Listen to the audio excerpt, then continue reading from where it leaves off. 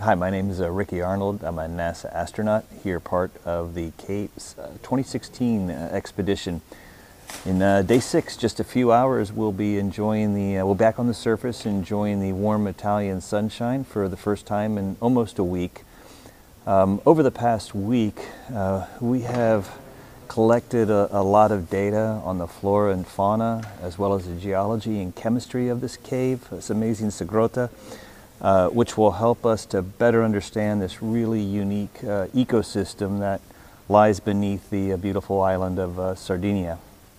Um, additionally, we've also managed to extend the accurate maps um, in both the major chambers of this cave, um, which will continue with future missions as we work to better understand exactly how this uh, really unique environment works.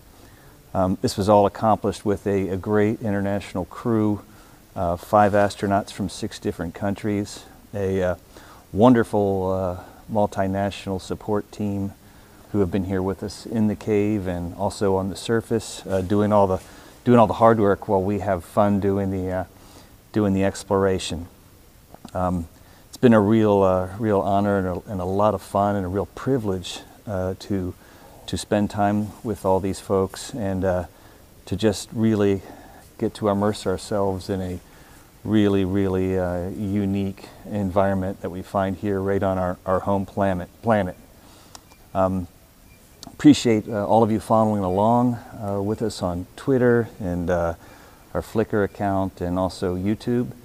And um, look forward to sharing the story when we get back to the surface and, uh, and look forward to even greater things uh, for caves next year in 2017. Thanks for following along.